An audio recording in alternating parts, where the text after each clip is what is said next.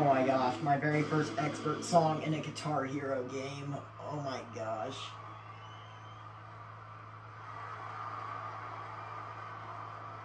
Yes.